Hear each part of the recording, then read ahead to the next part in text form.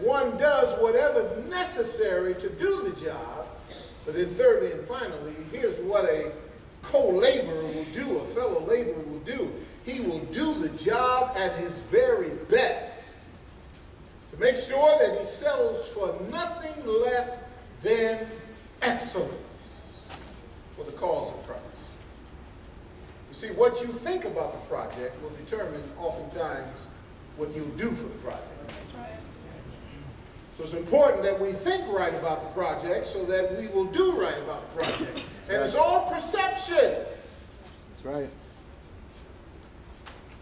Stories told of two men who were building the building. They said, What are you doing? He said, I'm laying brick. The man next to him, What are you doing? I'm building an edifice. Now, both of them doing the same work, but two different attitudes total. Thing that we have to do is realizing that every job for the Lord Jesus Christ deserves excellence. We need to give our very best to the Master. Amen? If you're an usher, you need to give your very best. Pastor, I need to give my very best. Deacons need to give their very best. Choir members, musicians, we need to offer nothing less than our best for the Master. David says, I don't want to render to the Lord what didn't cost me something. And all musicians know that in order to do something your very best, it requires a commitment.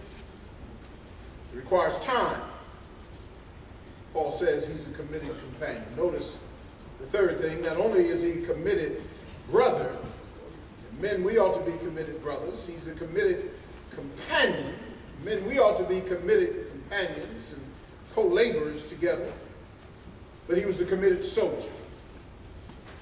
So yet I suppose it necessary to send to you Epaphroditus, my brother and companion in labor and fellow soldier. Never had an opportunity to be in the military. But everything I hear from soldiers, that is, soldiers who've been in combat, camaraderie and importance of having a fellow, a fellow, a fellow soldier. Those who understand what fellowship is, koinonia, partners together. I'm watching your back, you're watching my back. We're in this together as soldiers. One thing soldiers don't need are non-soldiers. Hmm. Amen. Soldiers have to have other soldiers because we're at war. That's right. Paul says we are at war. It's a spiritual warfare.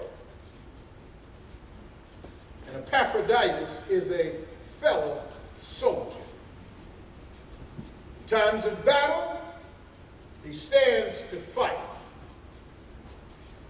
When the enemy comes, he's not running. He's standing. He's a fellow soldier. He is a committed soldier. Even though I've never been in the military and had that experience, nevertheless, God uses for the pastor military language.